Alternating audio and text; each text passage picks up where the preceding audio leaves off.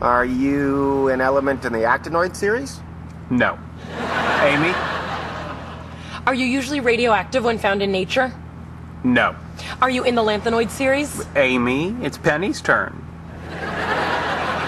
Penny? Uh, I don't know. Are you food? That's not apropos. We've already established I'm found on the periodic table. Well, it's a table, right? I mean, why can't there be food on it?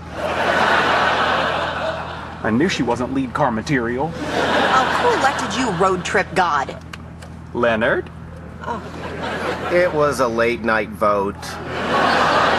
We were all exhausted, and he was threatening to filibuster. It's not technically road trip god, it's travel supervisor.